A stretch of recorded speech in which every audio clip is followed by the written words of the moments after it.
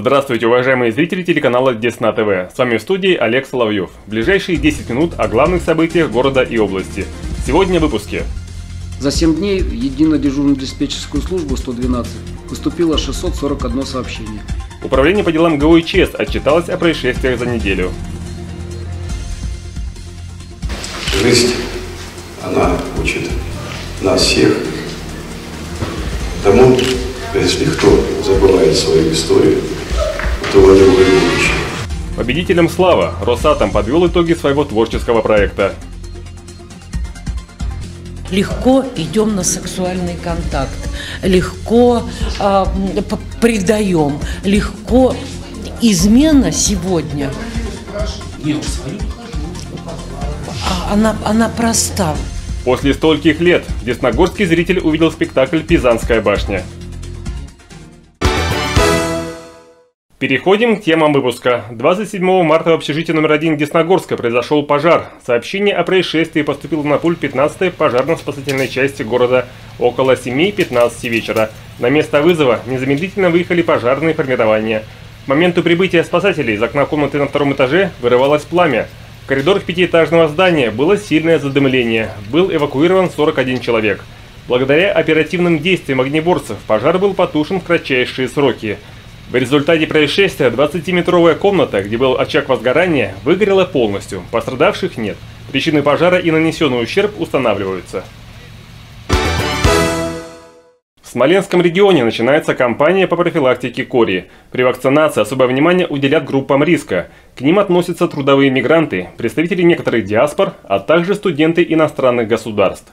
Эти меры соответствуют предписанию главного санитарного врача России – Корь – это опасное инфекционное заболевание. Недуг часто протекает в тяжелой форме и может привести к серьезным осложнениям, таким как инвалидность и даже летальный исход. Случаи заболевания фиксируются в странах Европы и отдельных регионах нашей страны. Единственным эффективным способом профилактики кори являются прививки.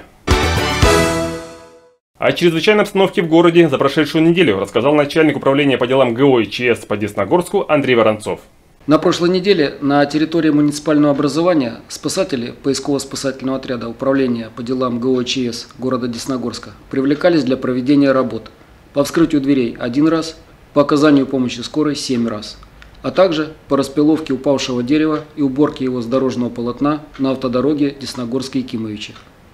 За 7 дней в единую дежурную диспетчерскую службу 112 поступило 641 сообщение, из них 241 ложное. Поступило отработано 13 просьб от населения. Лучшие преподаватели начального и среднего образования Смоленщины получат дополнительные премии. Денежное вознаграждение будет полагаться победителям федеральных конкурсов. Проект такого областного закона рассмотрели на заседании Комитета по социальной политике Смоленской областной думы.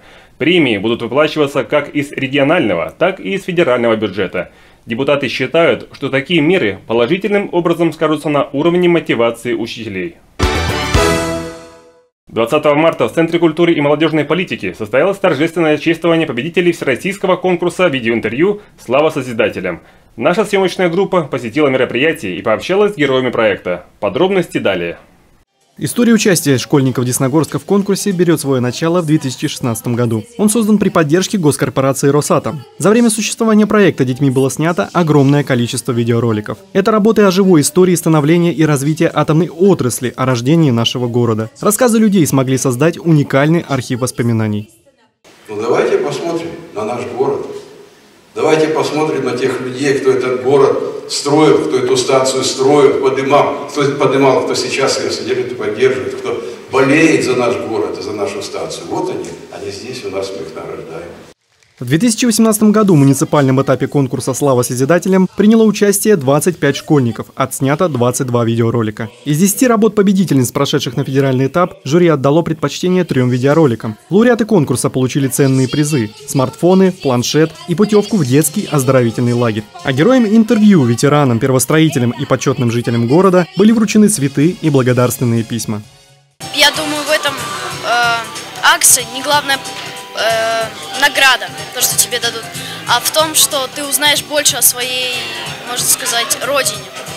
И то, что созидателям, это все равно очень большая приятность, то, что про них вспомнили. Наше мероприятие э, это тоже элемент того, чтобы нашей молодежи рассказать о том, какой великий трудовой подвиг совершили наши тоже отцы, деды и прадеды. То, почему наш город такой красивый, такой хороший, почему такие есть добрые люди. Финальным аккордом мероприятия стало музыкальное выступление вокально-эстрадного коллектива «Калибри», а также фотосессия для истории конкурса. Виталий Волков, Виолетта Ефименко, Виталий Степанов, Светлана Разганова, Десна ТВ. Купить билет на поезда дальнего следования в два раза дешевле можно будет этим летом. Правда, льготы положены только детям и подросткам от 10 до 17 лет. Совершить выгодное путешествие можно будет с 1 июня по 31 августа 2019 года. Продажи билетов уже открыты, но есть и другие условия. Скидка не действует на скоростные и высокоскоростные поезда, а также билеты в купейные вагоны. Льготы предоставляются только по территории Российской Федерации.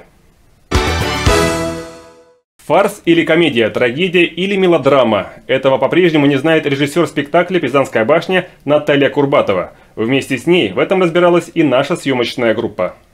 Композиция и сюжет постановки идеально подходят для реалий современного бытия. В пьесе всего два героя – муж и жена. Именно так, без имен, без лишней суеты. История сосуществования двоих. Банальная и ничем не отличающаяся от жизни большинства. Все так же, как у всех. Однушка где-то на окраине Москвы. Он и она уже не молоды. 20 лет совместной жизни и недомолвки притушили пламя любви. А слой взаимного недопонимания тяжелым монолитом лежит на их плечах. И справиться с этим грузом, казалось бы, им уже не под силам. Проблема непонятности и потерянности так близка и знакома человеческой природе. Я на тебя не обижаюсь. Я на тебя уже даже не обижаюсь и переделывать я тебя тоже не собираюсь. Ну, я просто ухожу. Впервые эта пьеса была поставлена режиссером театра «Пирамида» Натальей Курбатовой 16 лет назад, а на суд зрителя не представлялась уже 10 лет. И вот, наконец, Наталья Вениаминовна нашла в себе силы на новый рывок. Пизанская башня – это очень честный в плане соответствия содержания и формата спектакль. Он как символ рухнувшего семейного счастья, которое из последних сил по осколкам собирают герою постановки. Крики, ссоры, расставания и апогей душевной агонии со словами «Езжай в Пизу». А еще невероятная потребность любить и быть любимым. Сюжет, который близок к каждому. Ну, он просто немножко зад... задремал. Ну что он, по-твоему, специально, что ли, задремал? Все, все, все. Я собираюсь, все. Зал историко-краеведческого музея, где прошла постановка, прекрасно передавал атмосферу квартиры. Быть семейной пары, будничные заботы и нарастающее напряжение. Непосредственная близость сценической площадки со зрительным залом создавала полное ощущение участия. Редкие комичные моменты не сбивались с верной идеи. Семейное счастье – единственная форма существования, бороться за которое нужно обоим и до конца. Полтора часа антрепризы пролетели незаметно. Если вы хотите быть с человеком, то сделайте все, чтобы было ему хорошо. Со своей стороны он будет делать то же самое. Никаких конфликтов, все нормально. Легко идем на сексуальный контакт, легко э, предаем, легко измена сегодня.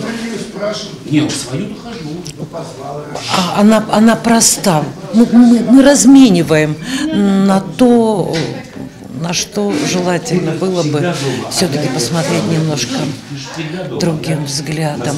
Постановка стала глотком свежего воздуха в культурной жизни города. Театр – это тот вид искусства, который должен быть близок и доступен каждому. И Десногорск в этом не исключение. Дальнейшие планы на судьбу пирамиды пока неизвестны. Однако человеческим страстям есть место как в повседневности, так и на подмостках. Но лучше, чтобы они кипели только на сцене. Олег Соловьев, Юлия Соболева, Светлана Разганова, Десна ТВ.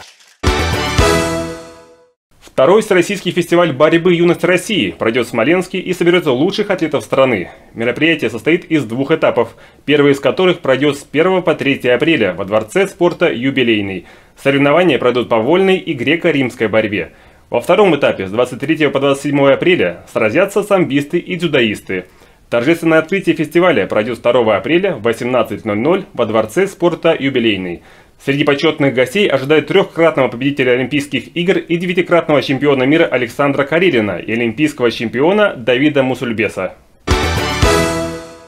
А теперь о погоде. 29 марта в Десногорске пасмурно, днем плюс 8, ночью около нуля. На сегодня это все новости. Смотрите наш телеканал, а также не забывайте про наш сайт desnadefistv.ru.